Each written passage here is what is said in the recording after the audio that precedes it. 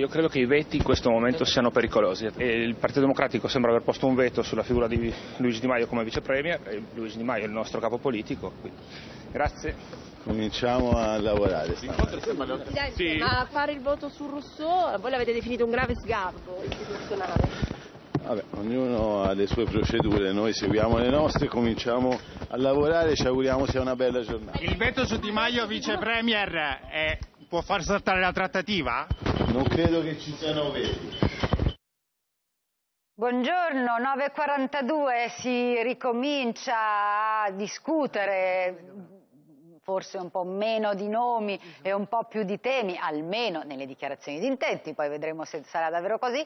Comunque oggi è l'ultimo giorno. Oggi si arriva di fronte al Capo dello Stato, già ieri avete visto sono iniziate le consultazioni, questa mattina eh, ricominciano alle 10, probabilmente ci collegheremo con il Quirinale, quindi vi mostreremo se eh, riusciremo diciamo così, con i nostri tempi a incrociare quelli delle delegazioni che escono, le loro dichiarazioni e intanto eh, nell'attesa cerchiamo di capire che cosa sta succedendo all'interno dei vari eh, partiti e movimenti, perché la nascita di questo governo, sempre che appunto si, eh, ci si arrivi, sta provocando eh, discreto terremoto sia all'interno del Movimento 5 Stelle che nella Lega, che vedremo anche eh, nel Partito Democratico, che però per paradosso era quello che era nato con eh, gli avvisi no, di scissione, eh, per qualcuno di sventura, eh, annunci di sventura, per altri no, in questo momento pare invece essersi ricompattato. Ne parleremo con gli ospiti in studio, che saluto eh, con gioia, a partire da Maurizio Caprara, collega buongiorno. del Corriere della Sera, buongiorno e benvenuto, e Massimiliano Lenzi, buongiorno, buongiorno collaboratore del Tempo, nonché autore anche di un libro eh, che ci ha aiutato no? anche un po' in questa... Eh, il caso Mattei. Eh, il caso Mattei, cioè i due, i, i, Mattei, Matteo Salvini e Matteo Renzi. Collegati invece con noi eh, da Ravello, il sociologo, il professor Domenico De Masi. Buongiorno professore. Buongiorno, buongiorno a voi. Ci sente bene? Io sento un audio un po' disturbato, ma insomma spero sì. che riusciremo, riusciremo ah, a sistemare. E invece eh, a Milano c'è eh, Vincenzo Sofo, no, buongiorno Sofo, eh, animatore di questo blog che si chiama Il Talebano, blog sovranista lo possiamo dire, blog sì, sì. Eh, perché si autodefinisce eh, così, ehm, ha tentato l'avventura eh, delle elezioni europee con la Lega e diciamo è ehm, sicuramente... Congelato eh. Congelato in attesa della Brexit. Va bene, e vedremo allora che cosa accadrà esatto se si spostano equilibri anche all'interno del Parlamento europeo. Avete sentito le dichiarazioni dei, eh, dei nostri eh, dei, dei rappresentanti, no? Eh, quindi si, si lavora, in qualche modo si lavora, si va avanti, c'è una scadenza molto, molto precisa, però eh, chi sfoglia i quotidiani questa mattina eh, oltre ai vari totonomi eccetera eccetera, trova anche appunto eh, articoli che ci raccontano del mal di pancia, del malessere all'interno eh, dei vari movimenti. Vi faccio per esempio vedere pagina 6 del Corriere della Sera, Maurizio, eh, con, eh, vediamo se la, la, regia riesce a mandarcelo in onda, il titolo eh, dell'articolo è Di Maio, consulteremo la base, gli eletti, eccolo qua, attaccano lui e Dibba. E insieme a questo vi faccio vedere anche un, eh, un, un, post su Facebook, un post su Facebook che è stato fatto ieri da un esponente abbastanza importante del Movimento 5 Stelle, Barellari, che diceva io non posso morire piddino. Una volta si diceva non voglio morire democristiano, adesso non posso. Eccolo qua, lo vedete, Davide Barillari che dice sono nato con i 5 Stelle, non posso morire piddino, mi rifiuto. Insomma. Ehm, qual è la vostra... Uscire una facile battuta. Teme di morire presto perché chissà quanto durerà. ecco, questo è già interessante. no, ma a proposito di quello che dicevi, il Corriere stanotte ha fatto in tempo a fare un titolo a tutta pagina su quello che secondo me in queste ore, se non viene risolto e affrontato, è il tema principale ed è questo della consultazione eh, sulla piattaforma Rousseau annunciata al Movimento 5 Stelle. Questo è una cosa che il Capo dello Stato non può tenere in considerazione. Gli articoli della Costituzione che vanno dal 92 al 94 non portano a nessun genere di eh, aspettativa di pronuncia di quel tipo, l'interlocutore del Presidente della Repubblica sono i gruppi parlamentari perché è dal Parlamento che il governo deve avere la fiducia, eh, non c'è nessuna normativa che, eh, eh accettata che stabilisca che la piattaforma Rousseau è un organo dirigente eh, eh, riconosciuto o riconoscibile, ma anche se fosse l'interlocutore del eh, del Presidente della Repubblica non è la direzione o la segreteria di un partito, è la delegazione che va in rappresentanza non a caso del vertice del partito e dei gruppi parlamentari. E Quindi questo... questa è una cosa che secondo me dimostra e conferma eh, la scarsa voglia, in particolare di Luigi Di Maio, di stringere l'accordo col PD. Poi non so come quindi, si chiuda, no, ecco, no, ma è certamente non quindi è scarsa elemento... voglia, perché qualcuno invece non... l'ha interpretata più come diciamo una eh, slabratura, eh, una sgrammaticatura, sgrammaticatura. Il capo eh, dello Stato ha detto... è, è, più figlia di diciamo, una ancora non conoscenza adeguata dei meccanismi o comunque no, del volere dire però io ho un movimento a cui devo rendere conto. Dopo un anno e mezzo che è ministro, se c'è una non conoscenza Cinque dei anni meccanismi... di vicepresidente della Camera. se c'è una non conoscenza dei meccanismi no, invece la, la, la, no. la, lettura che ne fa caprare Beh, La questa. settimana mm. scorsa il Presidente della Repubblica ha detto martedì eh, eh, martedì puntualmente, senza nessun ritardo, perché non è vero che c'è stato un ritardo, sono cominciate le consultazioni che prevedevano, secondo la scansione dei tempi, che mercoledì fossero i gruppi principali, ma non è stata inserita la possibilità che poi si ascoltasse un'altra. Ripeto, non è i rappresentanti del popolo, a rappresentare il popolo secondo la Costituzione italiana sono i parlamentari. E non, non c'è un terzo soggetto che si può inserire in un altro momento di cui il Capo dello Stato deve tener conto. E questo non è un aiuto alla soluzione della crisi nella direzione in cui si sta lavorando. Poi non do un giudizio di, no, eh, certo, di valore. non è un aiuto alla risoluzione della così. crisi, ma eh, come dire, il capo politico deve tenere conto anche no, del movimento Eh, che però lo, qui lo sta esprimendo. Qui c'è il punto, cioè il punto è la grande debolezza di Di Maio, perché Di Maio è quello che dal leader ha fatto l'accordo con la Lega e ci ha scommesso e Salvini ha staccato la spina al governo. Ha dimezzato i voti del Movimento 5 Stelle in un anno e mezzo, dalle politiche alle europee. Ha fatto fino a pochi giorni fa una feroce campagna anti-PD. Come può essere lui il garante di un accordo con il PD e il vice premier di un governo dove il premier sarà Conte? Cioè il vero problema, quando si dice la Allora, priorità ai programmi, certo. no. Quando c'è stata tanta avversione come c'è stata tra PD e 5 Stelle, la priorità va sulla scelta delle persone, perché la tollerabilità delle persone dall'una e dall'altra parte diventa garanzia che l'accordo proceda. Allora, a questo ci arriviamo subito, adesso dobbiamo andare in pubblicità, dopodiché voglio andare dal nostro eh, De Masi perché vorrei capire quindi se Di Maio poteva fare a meno quindi di consultare Rousseau eh, e questo però che cosa eh, poi eventualmente gli sarebbe costato. Ovviamente però dopo la pubblicità.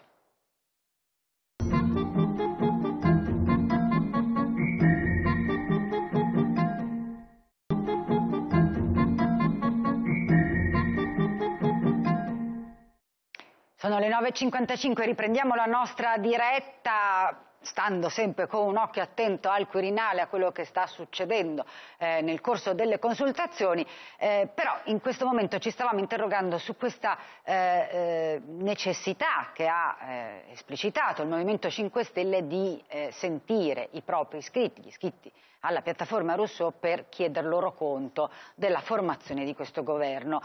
L'opinione di uno dei nostri ospiti, di Maurizio Caprara, è che eh, in qualche modo chiedere la conferma a Rousseau possa significare non volere chiudere diciamo, questo accordo, o comunque no, volersi tenere una porta aperta. Beh, Possiamo metterla così? Beh, ci Ecco. sono altri che questa porta tentano Eh, di tenerla aperta, basta vedere la nota che è stata fatta ieri dal Viminale sulla questione dell'ultima eh, imbarcazione eh, di migranti nella quale il Viminale fa sapere che è contento per la ritrovata unità del governo. Ora, in teoria, Il questo Viminale governo... Salvini. Eh, Esatto, eh, esattamente, eh, cioè colui che ha aperto la crisi. e, considerato che il governo è in carica per gli affari correnti, ma che se le trattative fossero a buon punto è un governo in agonia, dire che ha fatto una ritrovata unità forse uno non spende nemmeno l'inchiostro per dirlo, a meno che non voglia far sapere guardate io sono qui, se volete si può ritornare a lavorare insieme. Per dirlo con eh, il linguaggio social, non dico che avviene, però così perché... questa è la partita in corso, ecco. diciamo, io non do un giudizio poi su sia giusto o sbagliato, certo. però sono così le cose. Quest, questa è l'evidenza. Eh, Domenico De Masi, eh, poteva Di Maio esimersi dal chiedere Di Maio, insomma comunque eh, lo Stato Maggiore del Movimento 5 Stelle, esimersi dal chiedere ai propri iscritti il parere su Rousseau? No, sì, sì, sì. Eh, dico subito no, non poteva e cerco di spiegare perché. Eh, per noi sociologi il Movimento 5 Stelle è un prezioso caso di studio. Perché? Perché è un movimento che sta per diventare partito. Negli anni 30 ci fu un dibattito enorme guidato da un sociologo italiano, Michels, che insegnava a Perugia, su cos'è un movimento e cos'è un partito. Tutti i partiti cominciano come movimento, ma non tutti i movimenti riescono a trasformarsi in partito. E il 5 Stelle, il Movimento 5 Stelle è in questa fase delicatissima, durante la quale è stata lasciata senza un leader, perché Grillo non se ne interessa più, perché Casaleggio padre non c'è più, Casaleggio figlio non è Casaleggio padre, e Di Maio ha fatto quattro cose invece di fare solo quello, cioè il capo di un movimento che ha il compito di trasformare il movimento in partito.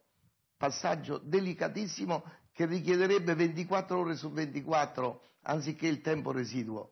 E io sarei, consiglierei a Di Maio per questo governo di fare il capo di partito, non di prendersi un ulteriore ehm, eh, ministero che gli impedirebbe di fare appunto quest'altra cosa.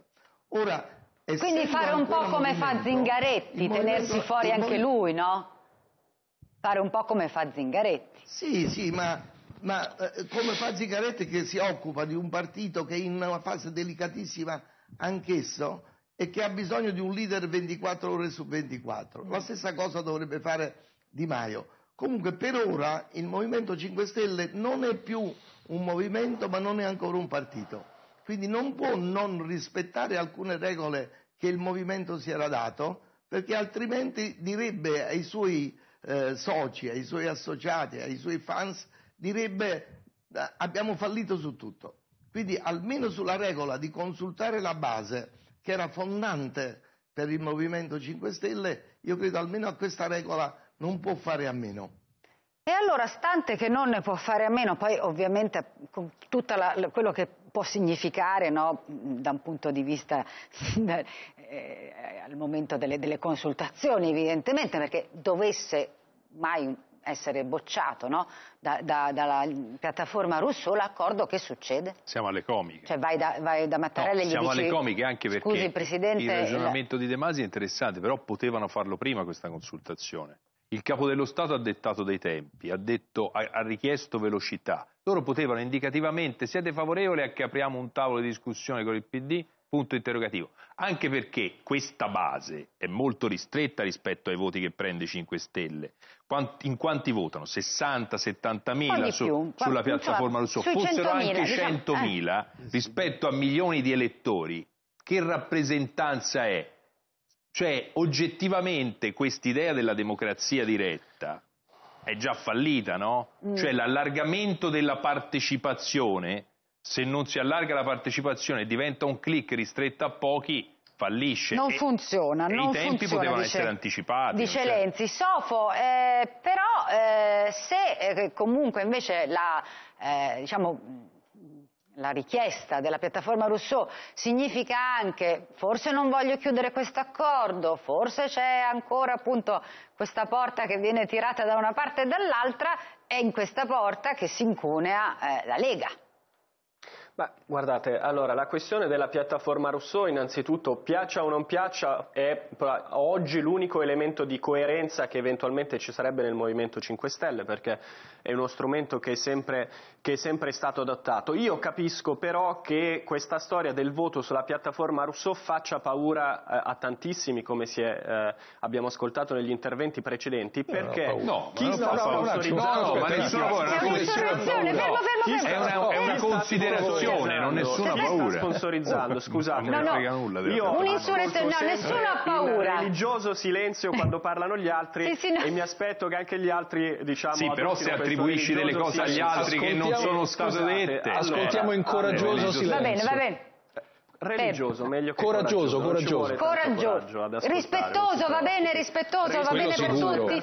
Ok, come mediatrice sono perfetta. Allora, stavo dicendo, allora, questo accordo eh, PD 5 Stelle è evidente a tutti che sia molto sponsorizzato per esempio dai media tra virgolette diciamo dell'establishment e da tutto l'apparato dell'establishment italiano ed europeo. Ora c'è un problema che c'è una fortissima discrasia tra quello che vogliono i palazzi, cioè questo accordo eh, 5 Stelle PD, e quello che invece vuole il popolo italiano, che è un ritorno alle urne, il che non significa che questo accordo non debba avvenire, perché magari le urne sanciscono un'alleanza, la volontà di un'alleanza eh, PD 5 Stelle. Ora, questa differenza tra quello che è il sentimento popolare, basta andare per strada a rendersene conto, e quelle che invece sono le manovre dei palazzi, mette in fortissima difficoltà il Movimento 5 Stelle. Perché? Perché il Movimento 5 Stelle un movimento che nasce proprio per dare retta, questo è quello che hanno sempre detto, alla volontà popolare piuttosto che alle manovre di palazzo, la famosa democrazia diretta che hanno cercato no, di mettere in campo poi con la, con la piattaforma Rousseau.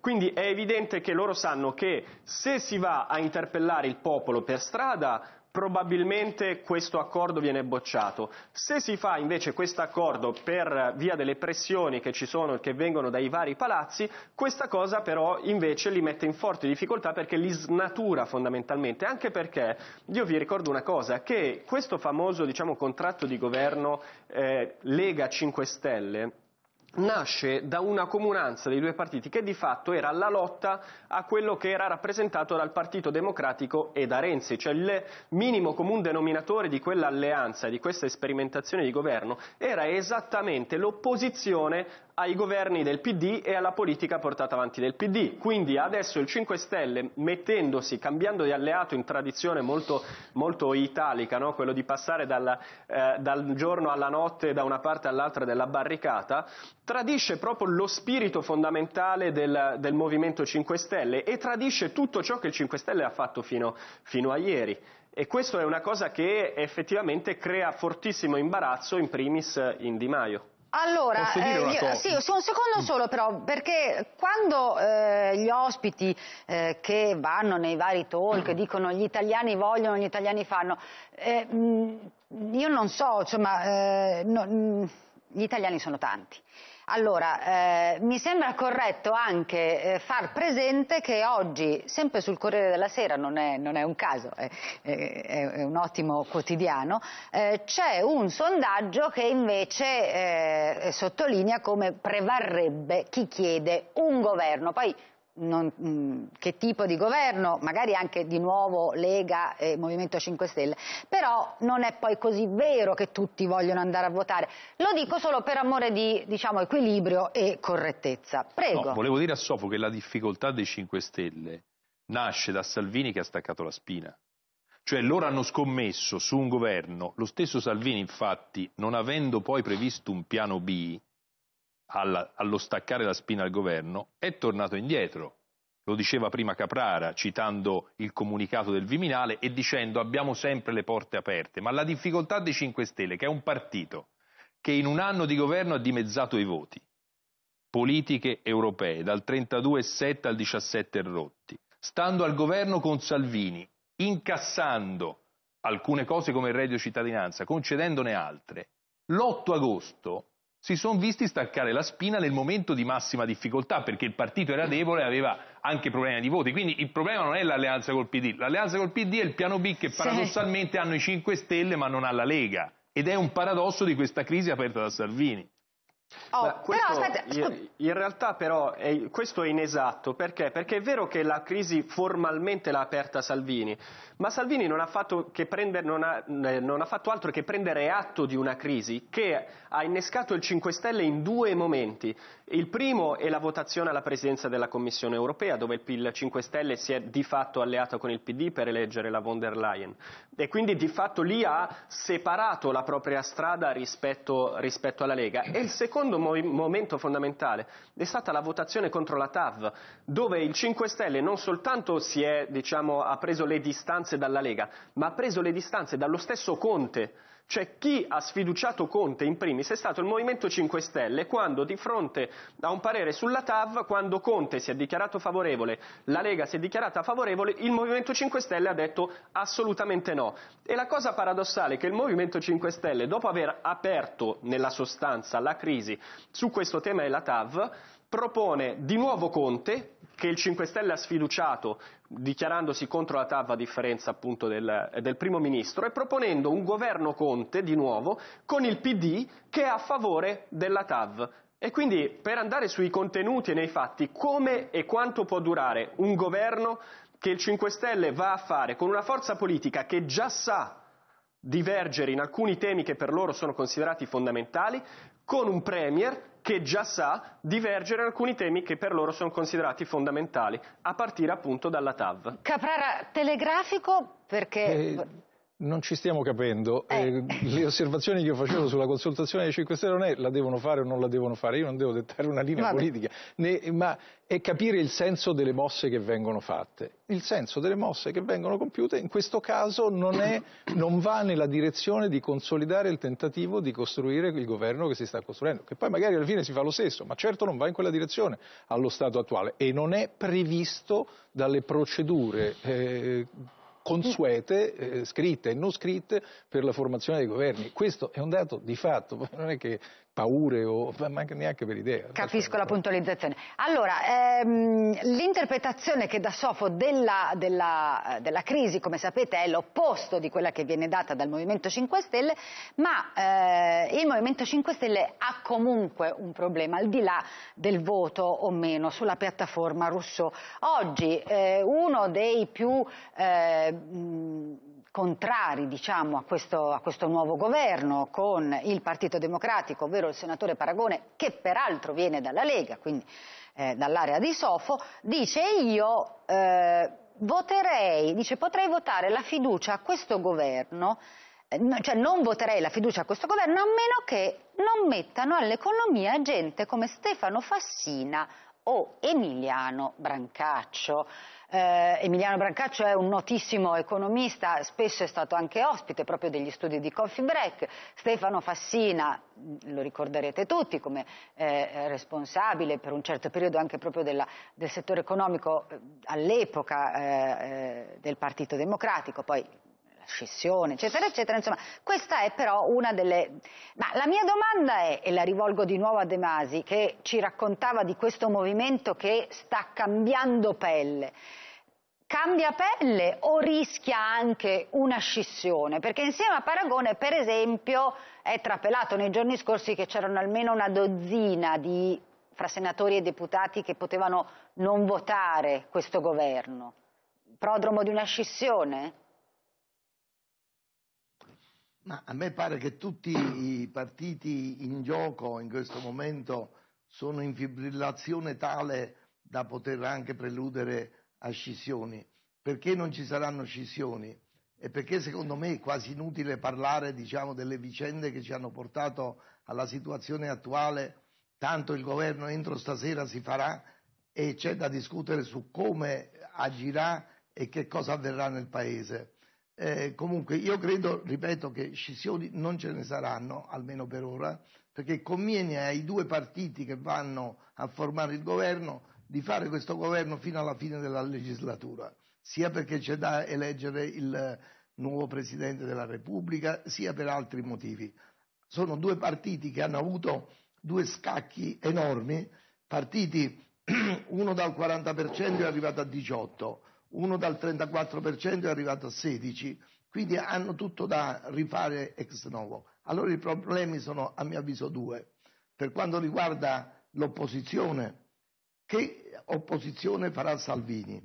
Se Salvini al governo è stato così intemperante, così sanguigno, eh, come condurrà la eh, Prepariamoci a un'opposizione. Che ha già agitato certo. L'idea della, della piazza, diciamo così. L'altra cosa è come agiranno insieme PD e Movimento 5 Stelle dal momento in cui il vero elemento di scissione oggi nella politica è essere socialdemocratici, cioè dalla parte, diciamo così, degli sfruttati, dei perdenti, del welfare, oppure neoliberisti. Quale di queste due fazioni vincerà? In questo momento è più socialdemocratica, eh, socialdemocratico il Movimento 5 Stelle che non il PD. Renzi è riuscito a fare del PD un, un partito prevalentemente neoliberista. Si sarà eh, in grado di eh, fare un accordo tra persone che non hanno così chiaro tutto questo? Vedremo. E inoltre, e inoltre si potrà far funzionare il governo che è stato fatto da persone incompetenti a formare un governo, perché fateci caso, nelle commissioni che in questi giorni stanno lavorando per fare il governo, tranne Di Maio che aveva par- partecipato alla eh, kermesse precedente, nessuno di loro ha fatto mai parte di una commissione che doveva formare governi. Quindi si tratta diciamo di, eh, di primizie. Cioè lei non considera i capigruppo comunque... I... Lei non considera i capigruppo all'altezza? Non hanno mai... Non avevano mai partecipato alla formazione mm. di un governo, mai, alle discussioni delicatissime che portano alla formazione di un governo. Quindi siamo, diciamo, in mano delle persone che stanno facendo una sorta di, di apprendistato di come si fa un governo e questo è molto molto pericoloso per un paese. Allora, Quindi la sì. questione è come sarà l'opposizione, come sarà il governo.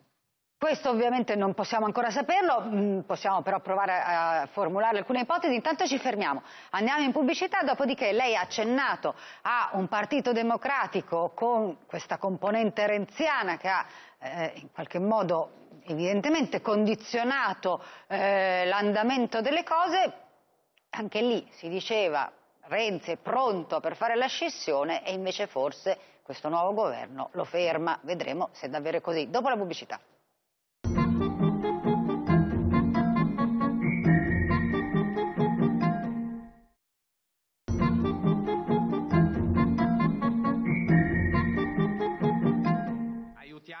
questo, che ci sia questo eh, esecutivo. Noi negli ultimi mesi abbiamo avuto difficoltà soprattutto con una compagine di governo per quanto riguarda l'autonomia con la compagine 5 Stelle eh, dove in diverse, diversi casi sia nel campo della salute sia nel campo dei lavori pubblici avevamo grandi problemi. E l'SVP quindi avrà un atteggiamento se viene chiesta la fiducia a un possibile governo eh, in itinere ehm, darà una, un suo, eh, si asterà, eh, non, un, non, voterà contro la fiducia, ma non, al momento non è possibile dare la fiducia, ma si asterà e ovviamente l'abbiamo detto anche al signor Presidente eh, lui è un garante per l'Italia ma è un garante anche per le minoranze linguistiche e poniamo tutte le nostre eh, fiducie nella figura del Presidente della Repubblica. Noi in caso di fiducia ci asteremo ma sarà un'astensione benevola e poi in futuro eh, decideremo di misura in misura come comportarci. Non abbiamo mai chiesto come Südtiroler Volkspartei poltrone, eh, noi non le chiediamo poltrone ministeriali, ma semmai non escludiamo appoggi esterni di misura in misura a un governo in itinere, ma non diamo la fiducia, ci asteremo. Grazie. Ci sono domande? Allora, Scusi, in attesa di sentire se ci sono domande, eh, avete capito anche voi, eh, si è concluso eh, eh l'incontro del Presidente Mattarella con la rappresentanza delle minoranze linguistiche, ha parlato eh, per prima la senatrice Unterberger eh, che ha riassunto diciamo così, la posizione anche per gli altri dicendo che le, i senatori delle minoranze linguistiche non voteranno contro, al massimo, e l'avete sentito in diretta quando toccava invece al rappresentante della Südtiroler Volkspartei, si asterranno e sarà un'astensione benevola, quindi evidentemente insomma, con un occhio eh, all'accordo che si sta creando. Eh, la senatrice Unterberger ha anche fatto notare come ci non ci siano praticamente donne in questo nuovo governo, eh, pochissime stanno partecipando alle trattative e ha eh, fatto notare che insomma, sarebbe il caso che ci fosse anche una rappresentanza femminile almeno pari al numero delle donne presenti in proporzione nel nostro paese.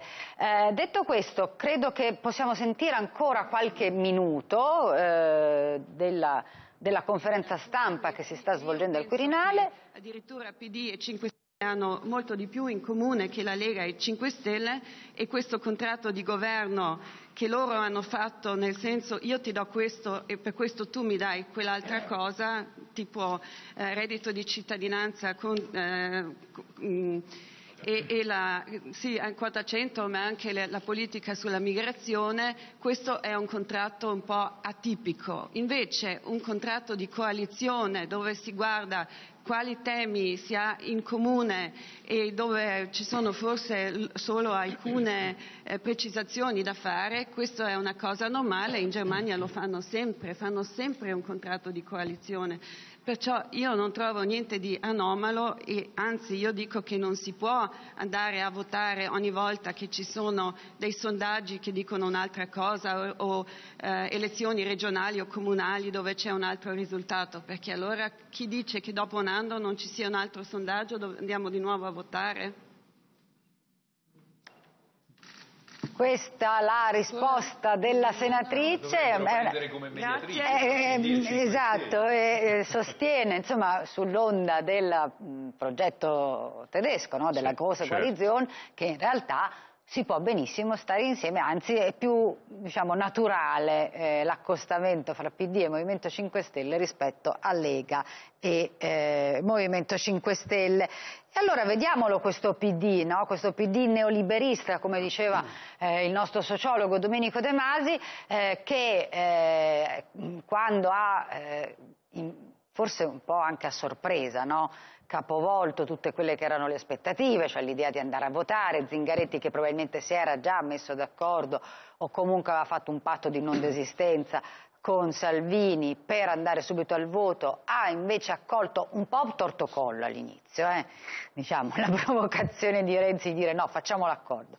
Poi invece lo abbiamo visto, no? Beh, Renzi, devo dire, ha ripreso eh. il pallino in mano, poi vedremo oh, come finirà, ecco. ma è sicuramente per adesso il vincente in questa crisi, perché era all'angolo, tutti si... Aspett... E tutti dicevano lo fa perché deve andarsene. Lo fa perché deve andarsi, aspettavano un Renzi conferenziere sul modello eh. di Blair e di Clinton, l'errore di Salvini, perché io torno ad essere convinto che staccare la spina senza avere un piano B l'8 agosto dopo aver governato diverso tempo, anche buttando giù bocconi amari, come ha fatto Salvini nell'Alleanza con i 5 Stelle, sia stato un errore. E lui ha detto, ferma un attimo allora, in politica tutto è possibile, fedele alla lezione di un altro fiorentino, il Machiavelli, dice perché no con i 5 Stelle? Se ne erano dette di ogni colore prima, ha messo questa palla al centro e ha messo automaticamente in difficoltà Salvini, che infatti da lì ha detto ma riapro un po' la porta ai 5 Stelle, di Maio nei 5 Stelle, ha fatto uscire fuori Grillo, che ha detto sì, fermiamo i barbari, e ha messo paradossalmente in difficoltà anche Zingaretti. Cioè dentro il PD ha ripreso una fiche... o, non fa, o fa male a stare fuori dal partito? Quando Di Masi, De Masi, diceva, sì, da, scusate, dal governo, De Masi diceva anche De Maio, Di Maio non dovrebbe stare nel governo perché, perché si dovrebbe occupare no, del, de, de, de, di questo movimento che sta diventando partito. E Zingaretti? Secondo me fa bene stare fuori, è anche presidente della regione Lazio lui. Cioè se lui entra nel governo si apre un domino perché gli si apre il problema all'interno del partito, si libera la presidenza della regione Lazio, cioè entrano in ballo troppe caselle. Poi per controllare un partito che è in, tra virgolette renzizzato, meglio sta, dedicarsi al partito come diceva De Masi che fare due cose governo e partito. Ma voi ve la sentireste di dire che eh, la scissione a questo punto è evitata o è semplicemente dilazionata nel tempo, Caprara? No, non credo assolutamente che la scissione sia evitata e che anzi un proseguo di legislatura potrebbe servire a Renzi per organizzarla meglio se ha intenzione di per tentare una nuova forza politica eh, nelle future elezioni. Però direi che secondo me sarebbe utile più che guardare tutti questi personalismi, guardare il senso di questi personalismi. Qui purtroppo arriviamo ad una eh, dimostrazione concreta di quanto il nostro Paese ha delle difficoltà. La crisi della forma partito, che non è ancora stata risolta, si vede in tutta la sua evidenza in questi giorni, in cui c'è una trattativa per fare un governo dove i principali eh, negoziatori, cioè il segretario del PD Zingaretti, il capo politico dei 5 Stelle Di Maio, si vede che non hanno entusiasmo per farla. Gli altri spingono, ma non esistono, o almeno non hanno la voce che avevano un tempo, e io non dico che bisogna tornare al tempo passato, dico che però, dato di fatto, eh, gli organismi dirigenti, collettivi. Eh, questa perdita di eh, senso dell'azione collettiva è un limite del nostro Paese, un Paese che non a caso eh, ha il crollo, eh, il punto storico più basso delle nascite, non riesce a uscire da una situazione di stagnazione o ripresa rachitica, insomma, ehm, Qui non c'è una discussione su dove vogliamo portare il Paese, ma non so se ci rendiamo conto che si sta eh, discutendo su si può fare una coalizione di governo se mi dai la vicepresidenza del Consiglio oppure no? Eh, adesso io non voglio dire No, no, capisco, capisco che, il, eh, questo, che il, la questione. Su questo anche la vicenda Peraltro, anche ti, la vicenda scusa, ti, ti interrompo eh. solo un secondo per dirti che ti viene incontro in qualche modo una, una dichiarazione che è appena uscita di Orlando, che comunque è stato ministro della giustizia, importante esponente del Partito Democratico, che dice non vedo perché il PD debba rinunciare a una figura che sia di raccordo e rappresentanza all'interno del governo governo eh, e eh, questo lo ha detto a proposito no, del fatto di avere o meno un vice premier eh, e lui ha detto ma però insomma non è tanto importante però insomma quindi si rigira sempre intorno alla questione. Ma se, se, come, se come capisco bene, in questo caso è per dire eh, se ne può fare a meno sì. e dato che lui è, è dato per Beh, uno dei esatto. possibili è una maniera per dire non sono io l'ostacolo eh, no, anche, però diciamo forse, perché, al di là perché di poi questo appunto bisogna sempre decrittare no? eh, beh, questo dobbiamo tener conto però qua che se ci interessa che il nostro paese stia meglio che ognuno di noi in qualche modo ha una responsabilità su questo questo è un paese che non sta trovando eh, degli scopi di azione comune da questo punto di vista la creazione di una coalizione vista per forza come una roba terribile, compromesso, in guacchio, è possibile, in guacchio e non in ciucio, perché l'inciucio è un'altra cosa, è il chiacchierare. Ma è, è, Hai ragione, finalmente è, una, no, una, no, perché questa no, è, una, è una violenza La filologia va rispettata, finalmente. L'inciucio è il ciuciu ciuciu ciuciu. L'inguacchio è, il linguacchio, è, il, bravo. è oh, finalmente qualcuno me l'ha. Questa è una cosa che eh, dà, fastidio d'anni. e, e, e però poi, quando delle realtà false diventano così molto dette, tutti ci credono, poi non è così. E ehm, anche quello che diceva prima il professor De Masi, eh, che io ascolto come sociologo, sul movimento 5 Stelle e il partito, ma per la verità io ho delle opinioni un po' diverse. La Lega era un movimento, una, eh, rappresentava un malessere negli anni, fine anni 80, inizio anni 90 nel nord, che ha eh, tracimato quando con il crollo del muro di Berlino è stato possibile per ceti dell'Italia produttiva dire vabbè, eh, allora prendiamocela anche con i democristiani e i socialisti, tanto non vengono i cosacchi ad abbeverarsi nella fontana di San Pietro e quindi le inchieste della magistratura hanno eh, eh, divelto un sistema eh, di, di, di equilibrio e di rapporti e un gruppo di, eh, un po' anche diciamo in senso buono, di pazzi, eh, ha, ha, avuto la provato, leadership sì. di un movimento, quello era un movimento di massa. E 5 Stelle è un'altra cosa, è un riuscitissimo dal punto di vista della conquista di consenso per una prima fase prodotto di marketing che deriva dall'osservazione dei comportamenti elettorali degli italiani, una grande disaffezione della politica, anche una motivata disaffezione della politica, sulla quale è stato poi confezionato dall'alto, non dal basso, un prodotto che è stato messo sul mercato e ha raccolto molto consenso. Eh, il vero problema è che questa cosa non è ancora partito e non è movimento. Si chiama così, io dico rispetto il nome, però diciamo se dobbiamo usare la minuscola non è Sta- un movimento di una massa, situazione- è una galassia, è un, eh, è un insieme di, di- di volontà diffuse, ramificate, non ancora strutturate. Ma a queste cose noi italiani dovremmo pensare di dare canali di espressione democratica che non siano dell'ultimo momento, che non siano spettacolari, che abbiano continuità e porci il problema del superamento della crisi del sistema partito che non ci giova. Intanto dobbiamo superare una crisi di governo, noi dobbiamo andare in pubblicità e prima c'è anche il meteo, quindi eh, ci fermiamo. Eh, a proposito di dichiarazioni, lascio o non lascio, Calenda, Carlo Calenda, sapete, anche lui no, iscritto da poco al Partito Democratico, però insomma importante, ha detto no, ma se c'è l'accordo io il PD lo lascio. Tanto noi andiamo a vederci il meteo. Ben ritrovati nel meteo di Coffee Break. Sta cambiando il tempo sulle nostre regioni occidentali, in particolare sulla Sardegna, dove sono già giunte delle nubi e dove nel pomeriggio registreremo un consistente peggioramento. Eccolo infatti nei simboli meteorologici. Abbiamo posizionato dei temporali sull'isola con particolare attenzione nella seconda parte del pomeriggio fin verso sera quando queste manifestazioni temporalesche potranno essere anche piuttosto consistenti. Rovesci e temporali li prevediamo anche, ma in maniera meno intensa, sull'arco alpino, sulle zone prealpine, anche sulle pianure del Triveneto, sempre nel pomeriggio, così come qualche rovescio, qualche temporale ce l'aspettiamo sulla dorsale appenninica, tra l'Appennino tosco-emiliano, i rilievi dell'Umbria delle Marche, del Lazio, dell'Abruzzo e scendere anche verso la Campania.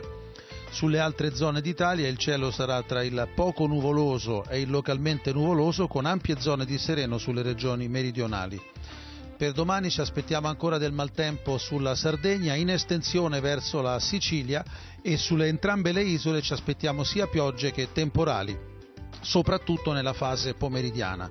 Nel pomeriggio, come al solito, si accenderanno degli addensamenti piuttosto consistenti sulle zone alpine e prealpine dove la probabilità di qualche rovescio temporalesco sarà sempre abbastanza consistente, temporali e rovesci sparsi anche sulle zone appenniniche. Per venerdì appena uno sguardo per dire che rimane una instabilità, ma il tempo complessivamente farà segnare un graduale e progressivo miglioramento. Ci fermiamo qui, l'appuntamento con il meteo è per domani mattina più o meno alla stessa ora.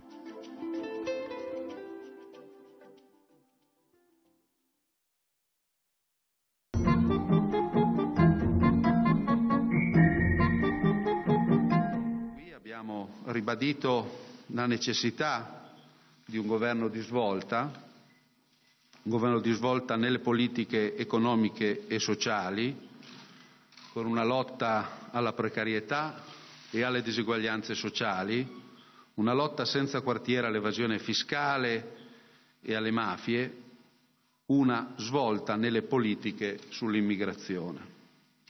Crediamo altresì che sia necessaria una nuova stagione di investimento, di difesa e di rilancio del nostro servizio sanitario pubblico che necessita di più medici e di più infermieri. Inoltre un governo che affronti con coraggio, determinazione, capacità di innovazione il tema epocale della lotta ai cambiamenti climatici, lanciando un grande piano per la riconversione ecologica del nostro- della nostra economia e per una difesa dell'assetto idrogeologico del nostro territorio assai fragile. Ovviamente un governo di svolta deve avere come primo atto una legge di bilancio altrettanto di svolta che apra un confronto serrato con la Commissione, con l'Unione Europea per ottenere quegli spazi finanziari e quella flessibilità per poter mettere in atto un grande piano di investimenti con un'attenzione speciale al Sud, un meridione che da problema, che da questione meridionale può diventare invece, a nostro giudizio, una grande opportunità di crescita e di sviluppo per l'intero Paese. Deve essere anche, a nostro giudizio, un governo di svolta rispetto al tentativo di riportare indietro le lancette del tempo sul tema delle conquiste e dei diritti delle donne, sconfiggendo campagne come quelle del decreto Pillon. In definitiva, quindi, abbiamo riconfermato al Presidente la nostra disponibilità per un governo di svolta, mentre non siamo disponibili ad un governo purché sia solo per evitare il voto anticipato. Grazie.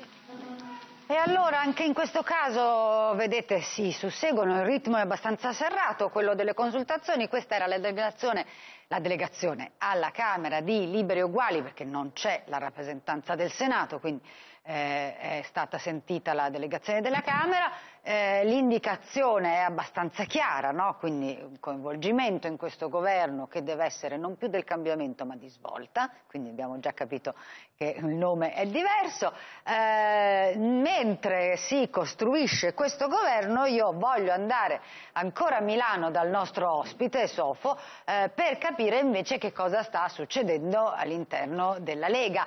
Eh, ieri si è molto discusso e anche oggi del tweet che il Presidente degli Stati Uniti Donald Trump ha fatto a favore eh, di Conte, benché abbia sbagliato il nome, questo Giuseppi ha fatto molto ridere, però insomma va bene, eh, se ne è discusso perché Trump diciamo così, è il re dei, dei sovranisti, no? è il sovranista per eccellenza, eppure appoggia eh, e, e anzi plaude al governo Conte.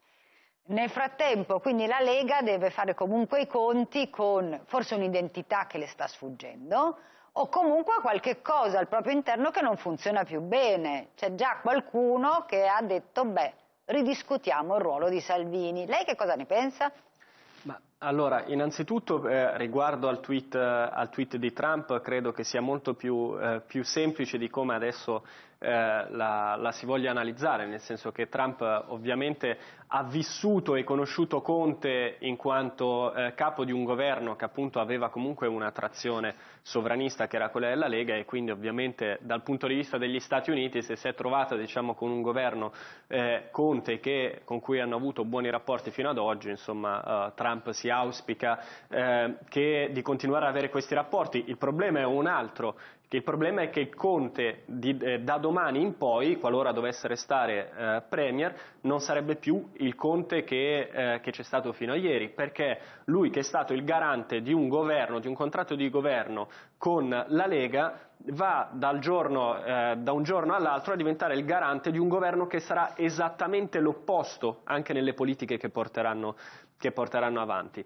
Quanto alla Lega... Quindi mi scusi, non... Sofì, scusi, scusi un secondo, perché in realtà lei sa che il, il Partito Democratico non gli riconosce questo ruolo, l'ha detto più di una volta, che considera Conte diciamo in quota Movimento 5 Stelle, certo, non come figura esatto, terza. Esatta, lo, lo ha detto chiaramente il cambia, Partito Democratico. Cambia totalmente, il, cambia, totalmente ruolo, cambia totalmente il ruolo di Conte, ma resta il fatto che qualora dovesse diventare Premier sarebbe il Premier del Movimento 5 Stelle e del Partito Democratico, oltre che magari di alcune forze tipo quella di, Liberi Uguali che nel Paese sono scomparse e che invece improvvisamente diventerebbero centrali per l'azione di governo italiano, a testimonianza dello scollamento che creerebbe questo governo con il tessuto eh, sociale. Eh, so, per questa, questa è la democrazia parlamentare, eh, funziona questo è così. Che questa eh, è la cioè, democrazia parlamentare, ma che... nel 2011 abbiamo avuto la prova con Abbiamo con votato Monti, nel 2018, abbiamo, non cent'anni fa, quindi...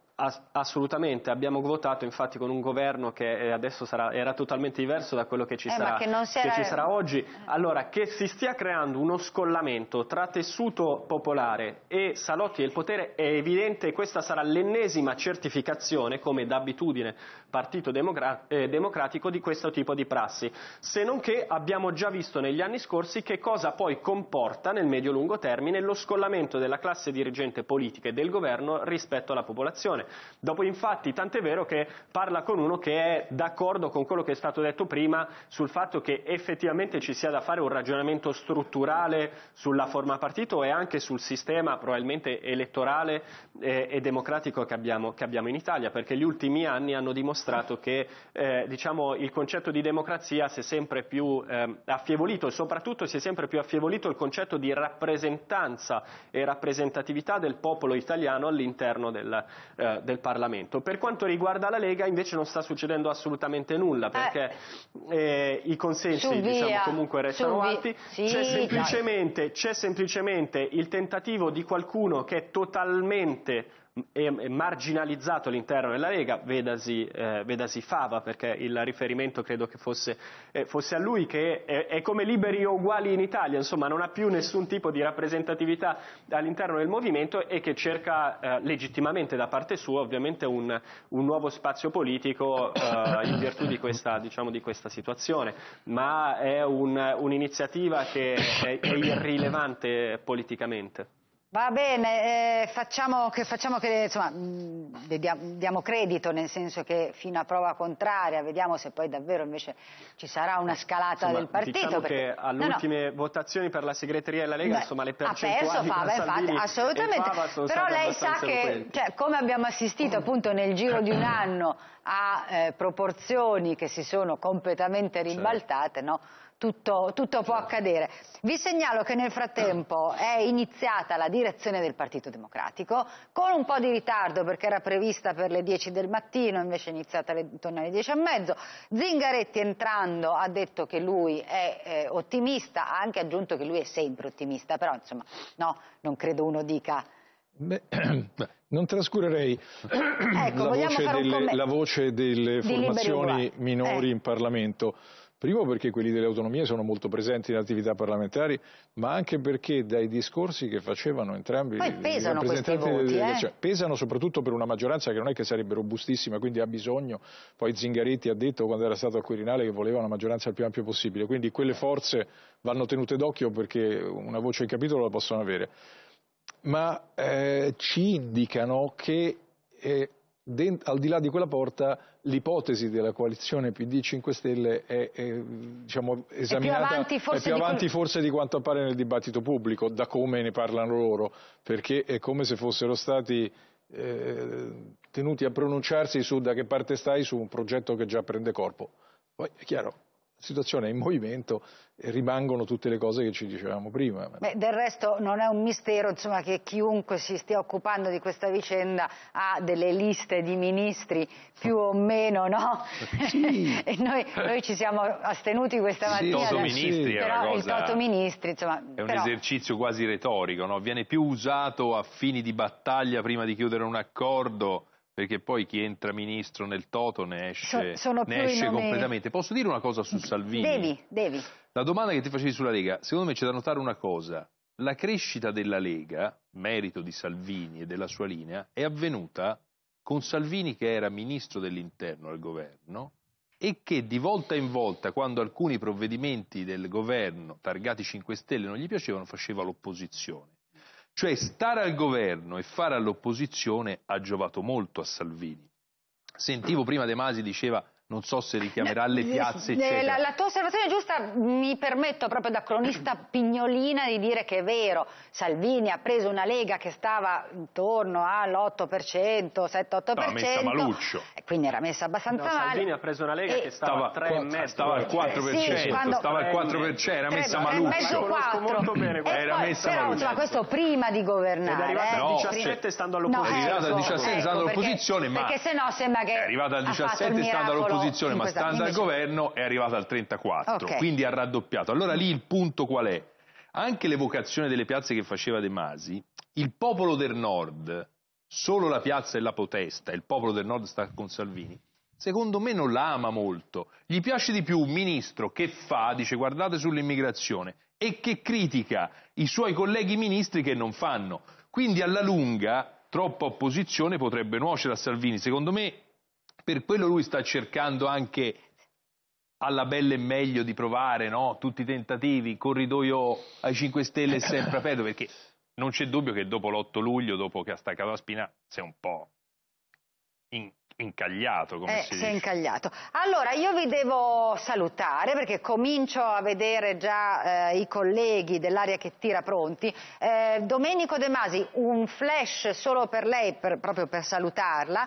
Ehm, eh, noi abbiamo fatto vedere, mentre lei parlava, il post scritto proprio ieri sera da Luigi Di Maio intorno alle 10.40 eh, che annunciava la volontà di andare sulla piattaforma Rousseau, eh, post sul blog delle stelle. Eh, ebbene, questo post sta, ha raggiunto già non so quanti, quanti like, soprattutto una valanga di commenti, come si poteva immaginare non proprio diciamo concilianti, non proprio no, eh, c'è un, ribollire della base, come si dice in questi casi. Ma eh, io credo che si fanno vivi soprattutto quelli che sono contro, quelli che sono a favore non, non intervengono eh, sui social o intervengono molto meno. Volevo però chiudere eh, con una osservazione. È, è, vero che liberi e uguali sono pochi, insomma saranno un milione e due circa di voti, però sono un indicatore molto forte, cioè eh, questa svolta del PD che finalmente ha capito esserci in 5 Stelle una possibilità di incontro serio, sta richiamando, sta richiamando i fuoriusciti dal PD e molti ne verranno forse stessa, dallo stesso Movimento 5 Stelle, ma sicuramente è un segnale il fatto che liberi e uguali abbiano deciso di votare a favore di questo governo. Quindi la svolta neoliberista eh, invece a questo punto prenderebbe tutta un'altra piega. Francesco Magnani, buongiorno. Buongiorno a Noi te, siamo Flavia. riusciti a sentire due consultazioni, a te mi sa che fra un po' ti tocca Fratelli d'Italia, sto guardando adesso Ah, il calendario. Fratelli d'Italia con buone probabilità la vedremo in diretta Esatto. sia all'ingresso della delegazione sia poi le eh, dichiarazioni successive al colloquio e eh, dopodiché ci c'è un'altra partita che si sta giocando in questo momento parallela alle consultazioni istitu- istituzionali al Quirinale che è quella eh, politica, la riunione congiunta PD Movimento 5 Stelle che si è appena conclusa a eh, Montecitorio e poi la eh, direzione del PD. Noi abbiamo due inviati sul campo, uno che appunto seguirà la liturgia quirinalizia, l'altro invece che starà dietro al laboratorio per costruire questo governo giallo-rosso che sembra, su- sembra sempre più eh, maturo. Abbiamo ospiti d'eccezione per parlarne eh, quest'oggi, eh, Laura Tece, Maria Teresa Meli, Giorgio Mulè, Ferruccio Sanza. Aspettiamo un esponente del Partito Democratico, ammesso e non concesso che la direzione finisca in eh, fretta, poi arriverà eh, Federico Fubini, vice direttore del Corriere della Sera, Claudia Fusani, alle 13 una analisi della crisi più pazza del mondo e dei suoi esiti con un archistar famoso in tutto il mondo, Massimiliano Fuxas. Eh, che fermo qui. meraviglia. Flavia, lascio a te la parola e tra poco ci vediamo in diretta. Perfetto, allora la linea a te, intanto mi hanno dato un'ultima agenzia con Di Maio che dice si pensi alle soluzioni, non a colpire me, quindi evidentemente appunto altro che la maretta di cui parlavamo. Bene, signori, è stato un piacere conversare con voi questa Nostra. mattina e eh, vi do quindi, e vi ringrazio ovviamente voi che ci avete seguito, vi do appuntamento domani sempre intorno alle 9.40, buona giornata.